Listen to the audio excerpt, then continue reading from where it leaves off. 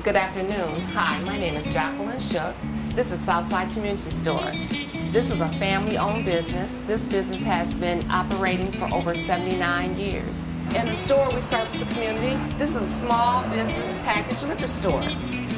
We have potato chips on this side. We have household products and necessities. We have beer. We have liquor.